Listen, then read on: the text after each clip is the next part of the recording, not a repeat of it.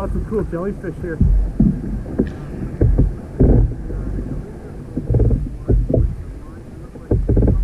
Yeah? Not yet. I saw a uh, fried egg. but uh, it's actually quite quite a deep brown.